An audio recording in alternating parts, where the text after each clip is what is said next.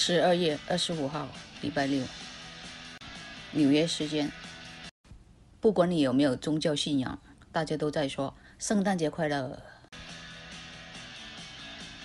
顺便说新年快乐，很快到了。这几张照片是在我们布鲁克林有泉园区拍的了。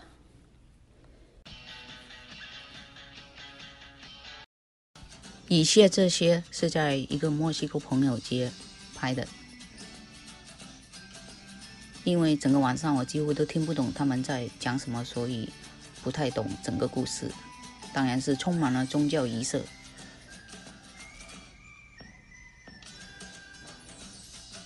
我只是一个旁观者，来看热闹，顺便拿点糖果。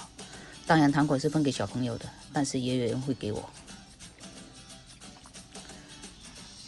然后吃一些我平常没有吃的，不过这个我忘记了叫什么，但是在啊我的波多黎各朋友街也是曾经吃过的东西，因为以前我很多时间跟西班牙人一起。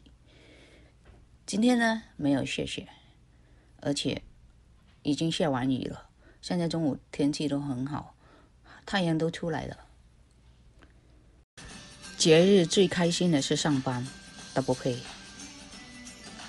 上班工资高一点呀，今天这一段就跟大家分享到大概是在这里，然后呢，我准备出门了，刚刚吃过午餐，谢谢你们观看。八大道街道上突然看到一种我没见过的海星。哎呀，今天那卡卡这个，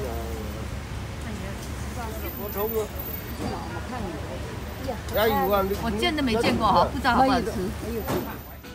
这个阿姨看到我蹲在那里拍照片，她也过来捞一个看看是什么。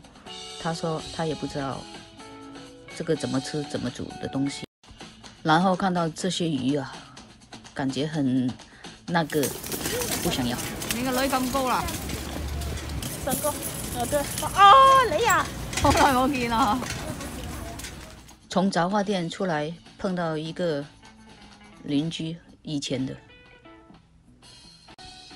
这些零食挺好吃哦，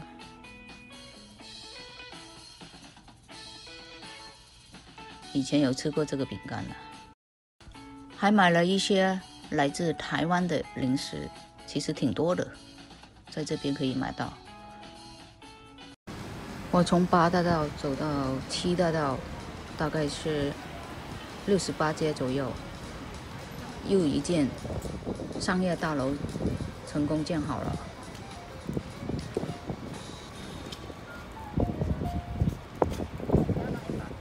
这一段路，七大道、八大道、六十街在五十多街，都有已经很多的成熟。我当然是怀念以前的建筑，多看几眼。我们生活中都难免碰到朋友借钱，你怎么看？不管你，我我我我我我问我的朋友说，你不要给我说你有多少钱。你口袋里面有多少钱？你自己保险箱里面，或者你中国的银行里面有多少钱？这就是你的钱。你这个钱在你老婆或者在你丈夫那个名下，或者在他的口袋里，他不是你的钱，都不是你的。或者你借给你自己的兄弟姐妹、孩子，都不是你的钱。因为你钱借出去的，就不是你的钱。拿回来的机会很低啊！在你手上就就就，好吧？借出去的钱不叫你的钱啊，反而你借钱借出去，反而变成仇家，好多这样。有的人是没有办法，不能，因为借钱的人一般都是没钱才去借钱，是吧？有钱还需要借钱吗？谢谢聆听。